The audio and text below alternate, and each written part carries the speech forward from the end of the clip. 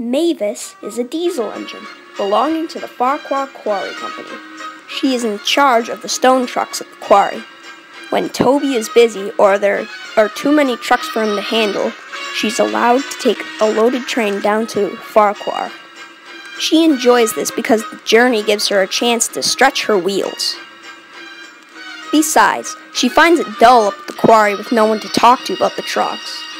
For most of the way, her line runs beside a road. She is always careful, especially in the spot where Thomas once had an argument with a policeman.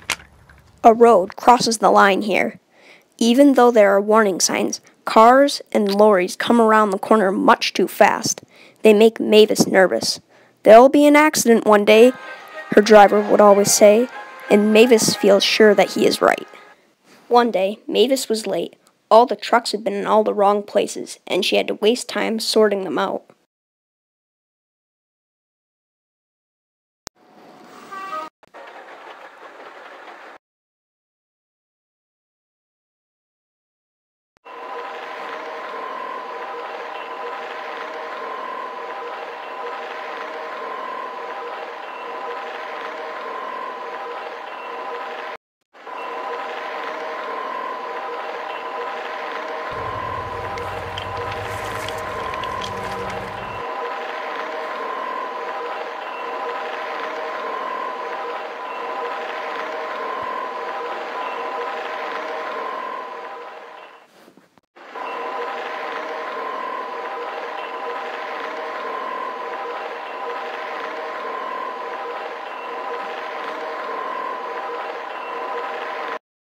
As she came down the line, she felt them surge against her.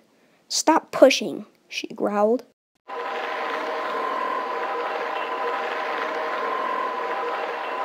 They neared the crossing, and they saw a lorry coming towards them.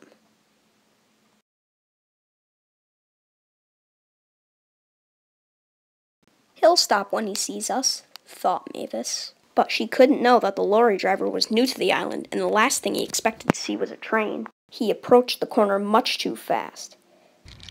He realized the corner was sharper than he expected and swerved, and saw that Mavis was halfway across the road. He braked hard, but it was too late. Mavis watched in horror.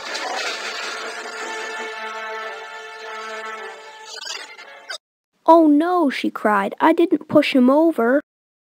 Her driver jumped down and laughed. No one's blaming you, he replied, but I hope the lorry driver is all right. A figure could be seen trying to climb out of the other side. Mavis's driver went to help. Is that a train? the man demanded.